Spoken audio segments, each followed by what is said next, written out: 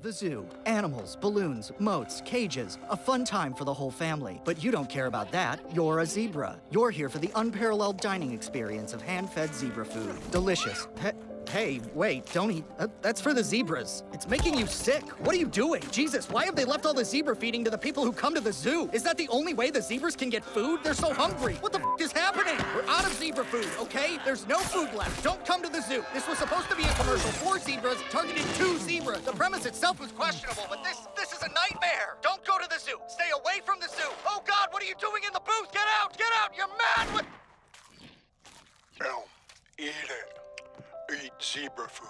Okay, um, I guess I can't blame Dad for being confused about what to do with the zebra food. Also, I have no idea why they're running this ad, like, on a loop. There were murders in it, and it was specifically telling you to do the thing it didn't want you to do until the very end when it reversed. Why would they sell the zebra food in the gift shop? Unless, I mean, do the zebras shop in here? Are we the ones in the zoo? Oh, is that the twist? Okay, we're it's a human zoo. Got it.